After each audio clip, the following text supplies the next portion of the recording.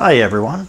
I'm back with another quick machining tip for you and this one is a lifesaver for those times when you need to cut a metric butt ton of blanks.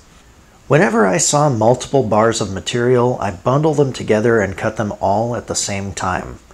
This makes the bars act as a single unit and means I only need to make a few cuts instead of hundreds. For this, I really like to use the shrink wrap that's used to secure boxes on a pallet. This is also an excellent choice for individually wrapping every single tool in your coworker's toolbox because he messed with the seats, mirrors, and radio in your work truck.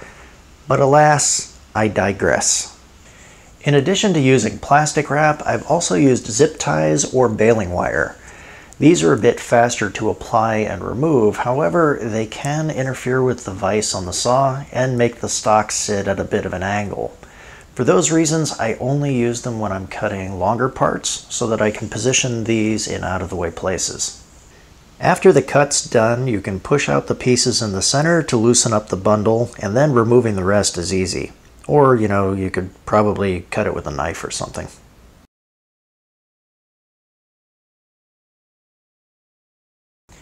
If you have any questions or topics you'd like to see me cover in a future video, leave those down in the comments section below.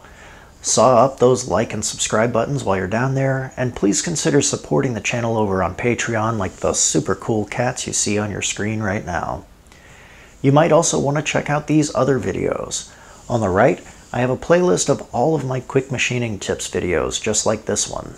On the top left, I have my most recent video, and down on the bottom left, I have a video that YouTube thinks you'll enjoy just as much as this one. Thanks for watching. I'll see you next time.